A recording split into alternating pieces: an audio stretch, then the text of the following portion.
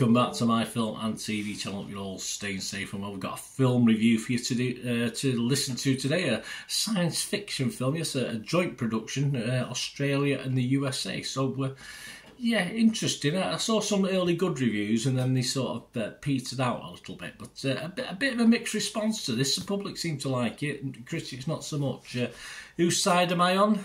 I'm on my own side, of course I am. Anyway, we're going to have a look at something called Foe, F-O-E, Please, if you're new to the channel, push that subscribe button, push the bell notifications, everything, film and TV, reviews like this, information, vlogs, previews, lots of different things.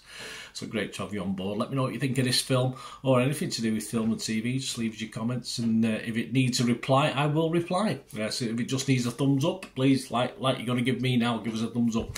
Uh, that's what it'll get. So uh, please uh, jump on board and join the join the join the fun. I try and inform if I can. I try and entertain. Not not always successfully, but I do my little best. That's all I can ask. That's all we can ask, isn't it? Right, let's get on with this film for 110 minutes. Yeah, felt it as well to me. Not a good sign. Science fiction psychological thriller. This is classed as directed by Australian director Garth Davis and it's based on Iain Reid's. I think Iain Reid was involved in the screenplay on this as well. Uh, 2018 novel of the same name. So yes, Foe, not much, not much print used there. An Australian-US co-production filmed in Australia. The film stars. Uh, oh, I never know how to pronounce this one. Saoirse Ronan, is it? Saoirse S A O I R S E. Saoirse Ronan, Paul Mescal, and Aaron Pierre. Yeah, it's not not a massive cast in this one, that's for sure. So I'm sure it didn't cost that much apart from the wages.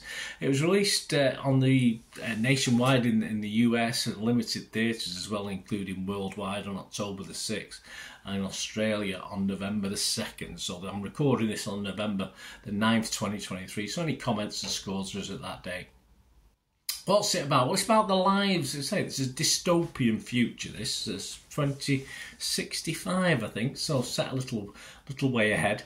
Uh, the lives of a married couple are turned upside down when a stranger arrives at their farm and informs the husband he will be sent to a large space station, and his wife will be left in the company of a robot. Yes, uh, not like Robbie the robot. This one, that's for sure. But uh, that, that's the gist of it. Now, one of the problems I got with this is the backstory and lots of information as to why and wherefores uh, was was missing for this. You just have to take things for granted.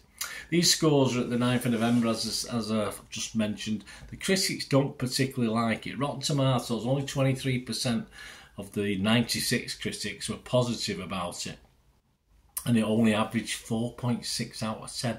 That's 22 fresh, but 74 rotten. The website's consensus Paul Mescal and Saoirse Ronan give it all they've got, but they're un- ultimately undone by Foe's clunky sci fi trappings and ponderous attempts to generate psychological thrills. I'd have to agree with that. I thought. I thought was very, very good. I'm not overly impressed with Paul Mescal acting, to be honest with you. But yeah, it was a bit clunky for me as well. Metacritic, the other site look at, uh, they average this 44 out of 100, so very similar figure. That's based on 33 critics. Four were, four were positive, just four. 22 mixed, which is sometimes not a bad thing, but it's not a good thing either.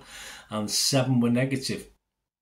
But the two, the two uh, two magazines I subscribe to, Total Film and Empire, were both positive about this. Total Film's James Mottram said, admittedly the film's oddly paced, elliptical middle section may leave you, I don't know what that means, scratching your head, but then the twisty third act pulls it all together, sending shivers down the spine. Yeah, but the trouble is I'd, I'd sussed out most of it and didn't send shivers down my spine. Well, it's cold, but that might be the reason.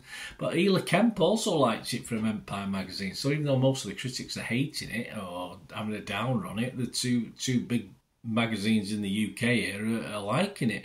Ela, Ella Kemp said, uh, an emotionally familiar take on loyalty and technology in a world where love and survival feel near impossible. Reid's writing shines, and there's nobody better than Mescal and Ronan to broadcast heartbreak. But the public love it. Yes, generally, all right. We know Empire and Total Film do.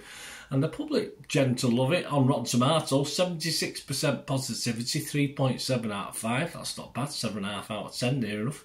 Internet Movie Database slightly down. I mean, it's not quite at the six out of ten I like to see, but I certainly like it more than the critics do, and they're giving it a five point six out of ten.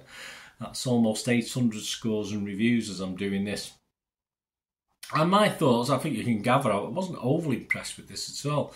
I mean, despite a near two hour runtime, there's just too much not covered in this sort of bleak future science fiction dystopian future uh, film. You just, you know, you sort of get the gist of what the problem is, but there's just not enough background as to this what's what all this is all about. Uh, and there should be, it's not, you know, they, they, give you the basic information. There should be a lot more information that you don't really get out of this. And the characters, as uh, what the pretty uninvestable. I didn't like Iron particularly. No, no offense. I didn't. I didn't think. I just thought they were very hard to invest in the two lead characters.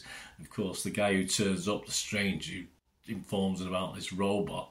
But um, yeah, I just thought the drama side was pretty unrewarding and you could see a lot of work went into some of it, but just not good enough for me.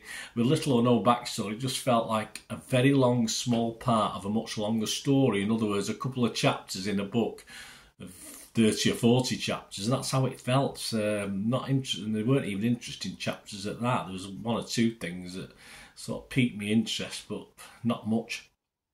There's no real, there wasn't any real surprises for me either. I'm sure some people who weren't concentrating might have had one or two surprises. But uh, there are twists. But by the time you get to the final act, and therefore uh, where the twist, oh, you should be should be shocked or impressed. Uh, yeah.